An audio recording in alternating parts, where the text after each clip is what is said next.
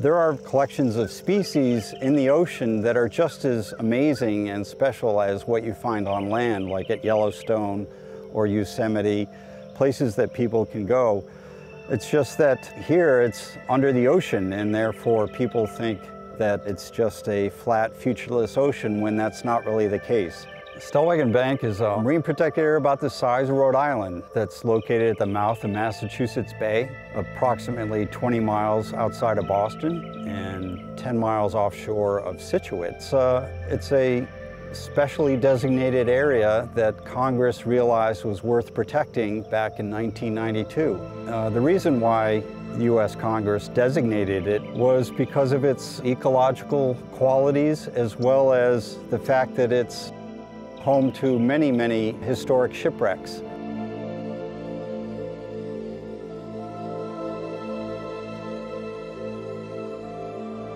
What makes Stellwagen Bank special really is the interplay of uh, the geology on the seafloor as well as the ocean currents that uh, wash over that geology every day, twice a day with the tides coming in and coming out. And that brings nutrient-rich waters from the deep up over the top of Stellwagen Bank, and that kicks off the, the food web by creating blooms of plankton that everything else depends on and feeds on. So you get this uh, mix of seafloor habitats and overlying ocean currents that really make this place pop and become the productive area that it is. And it's one of the most productive uh, areas in the entire Gulf of Maine. Uh, usually it's small forage fish that are feeding on these little plankton like herring, like sand eels or sand lance as we call them, and mackerel.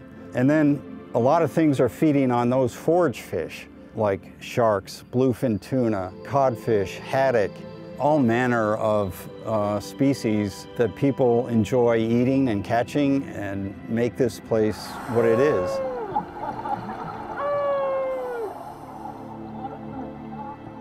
And we have over 22 species of whales in Stellwagen Bank Sanctuary.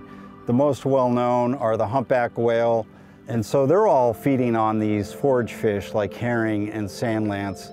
And in addition to them, we have 54 species of seabirds out there. The word sanctuary is a little bit misleading. What it really is, is a multiple use area where uses are allowed for the most part and accommodated as long as they don't undermine or destroy the fundamental ecological basis for the sanctuary. We need to understand as much as we possibly can about the sanctuary and the resources within it. So we wholeheartedly support and encourage recreational fishing in the sanctuary. We share the same goal as recreational fishermen. That is to restore and maintain the natural productivity of Stellwagen Bank National Marine Sanctuary. We can achieve this goal by opening lines of communication and working more closely together.